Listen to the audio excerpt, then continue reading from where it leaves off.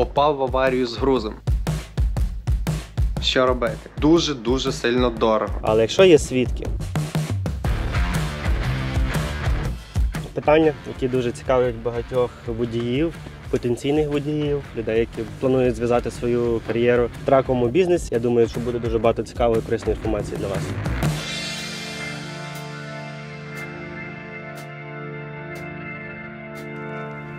Отримали CDL, не маєте досвіду і ніхто вас не хоче брати на роботу. Що робити? Безліч компаній бере без досвіду. Можливо, поставлять вас поїздити з кимось як напарник на там на два тижні, е, який вам розкаже, як е, все працює, як заправлятися, слайдуватися, паркувати. Повністю всі деталі за два тижні вам розкаже. Проїдете з тим і будете спокійно собі їздити. Таких компаній безліч. Чи ми робимо це? Ні. Що робити, коли попав в аварію? Є декілька варіантів цих дій, тому що може бути якась серйозніша аварія, а може бути якась простіша аварія. Але в будь-якому випадку треба дати знати компанії. Тобто, що би не було, що би не сталося, жорстка аварія. По-любому треба дзвонити зразу в 911, вибігати з траку, якщо можеш, якщо з тобою все окей. Дивитися, що в легковій машині, скільки людей в легковій машині було.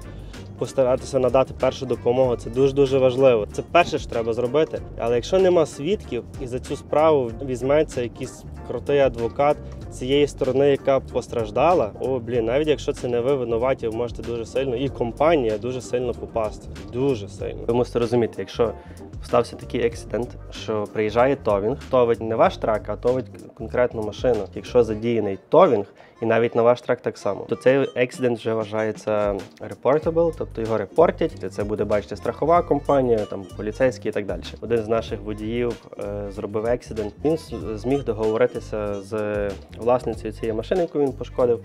Щоб товінгу не було. Тобто цей ексидент вже нікуди там не оформлюється. Страхові компанії виясняють питання.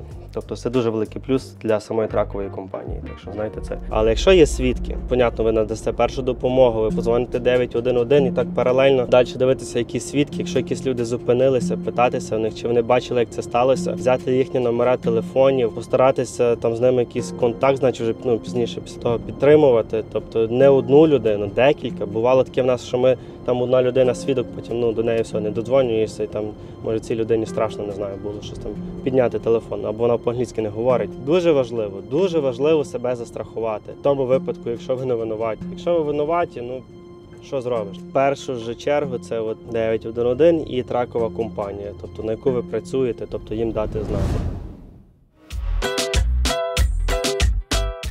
попав в аварію з грузом. Чи будеш ти платити за цей груз, чи не будеш? В нашій компанії воно відбувається так: ти попадаєш в аварію з грузом. Ми оцінюємо ось той груз. Якщо брокер не приймає той груз і робить claim на цілий груз, водій ніколи не платить за цілий груз. Він тільки платить за deductible, за страхову. Це прописано в політиці компанії. Якщо ти її будеш конкретно чітко читати, ти будеш бачити, скільки вони можуть зняти з тебе з твого чеку. У нас в компанії зазвичай це 2,5 тисячі доларів, що є дедактабелом для страхової. Все дуже просто.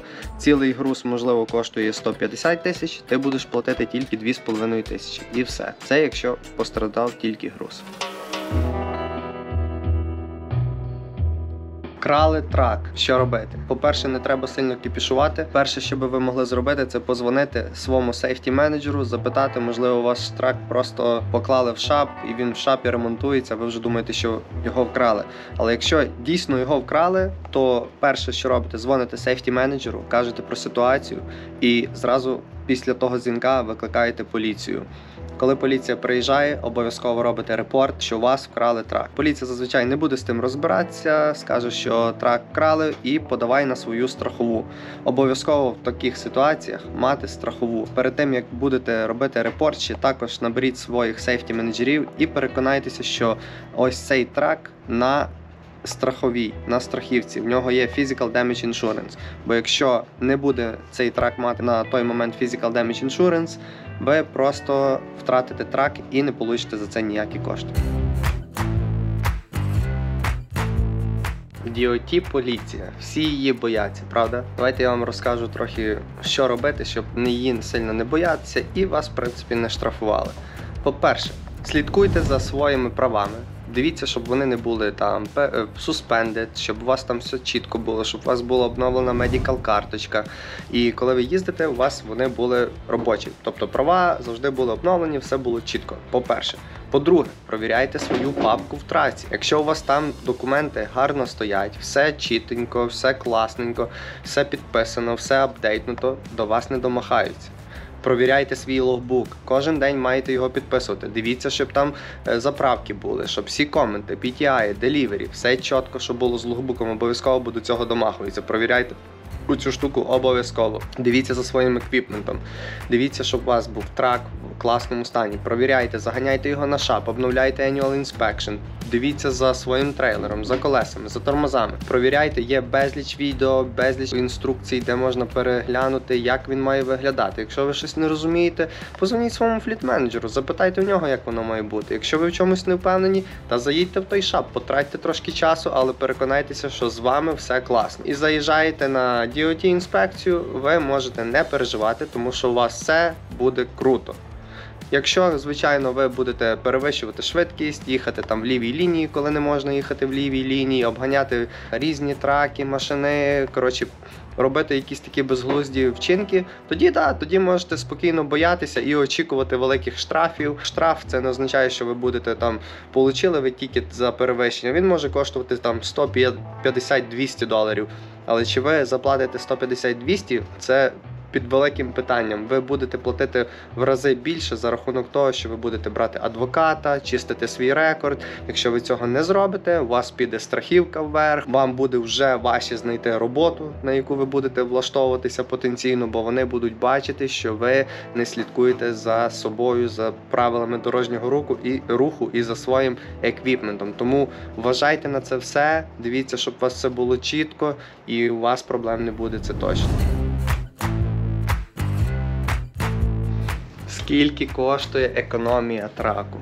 Економія траку коштує дуже-дуже сильно дорого. Якщо ви думаєте, що ви розумні і ви економите на ремонтах сьогодні, то завтра прийде срака. Завтра вас зупинять на інспекції, провірять ваш трак, і ви за той маленький ремонт заплатите в два рази більше. Ремонт в шапі набагато дешевший, ніж ремонт на дорозі. На дорозі вам допишуть ще 10 інших пунктів, які вам не потрібно робити, але ви їх зробите, тому що DOT скаже роби і нас не їбе.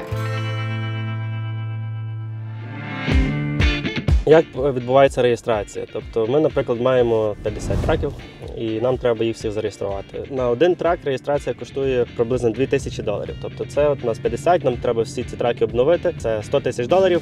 Ми мусимо до кінця місяця оплатити. Через нас роблять онероператори реєстрацію. Ми також надаємо таку послугу, скажімо, як компанія, ми можемо зробити реєстрацію онероператору, який хоче з нами працювати. Виписується чек, але ці гроші знімаються зразу з вашого рахунку.